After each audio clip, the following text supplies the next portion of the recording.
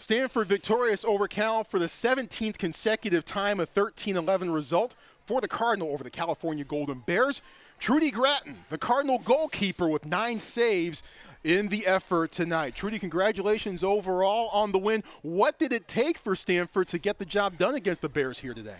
Thank you so much. I think it was an overall team effort. Everybody from the attack to the defense really came through in those last minute stops, and I think – from the last draw to like the last defensive set, we all had each other's backs throughout those last few minutes in the second half. Yeah, and it didn't, it, it, didn't seem like you guys hit the panic button really at any point in the second half when Cal was making it close, uh, made it a one goal game with five and a half minutes to go. Uh, take us through your mindset and the defense's mindset as this game went along and got tighter and tighter. Yeah, so it's super tough. We've been practicing that a lot in practice, is stopping the momentum of other teams. And what it came back to each time was backing each other up and like being there to support each other and like we always end that with our huddle is back each other up and that's what it came down to in those last few minutes is every time a goal was scored each one of us is like we'll back you up next time and that's how we played the last few minutes. Now, now in that second half, though, Cal hit the iron three times.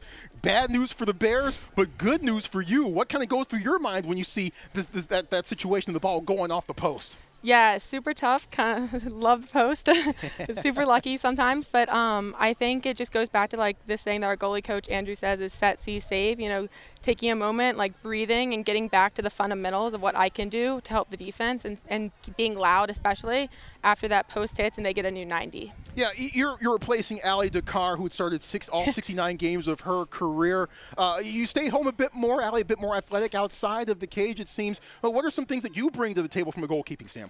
Um, Allie was a great mentor. I think I've worked a lot. Last year I played like a lot of goalies, and I think it helped with my experience. Um, I think I've done a really good job like staying home. I think I originally like was one v ones were coming towards me, and I was kind of jumping out. Um, I think talking, I think I'm a loud communicator, so I think that's a strength of our defense is our communication and how loud we are when the offense comes down. Well, Trudie, as we wrap this up here, Stanford is now on back-to-back games after having a four-game win streak earlier in the year.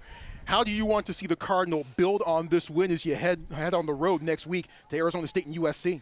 Yeah, I think just building on our fundamentals and um, keeping the trust there and like – another two wins, make it four. well, try to keep it going the rest of the way. Trudie Grattan from Richmond, Virginia, helping to get it done for the Cardinal here today. Trudie, mm-hmm. appreciate the time. Best Thank of luck you. the rest of the season. Thank you so much.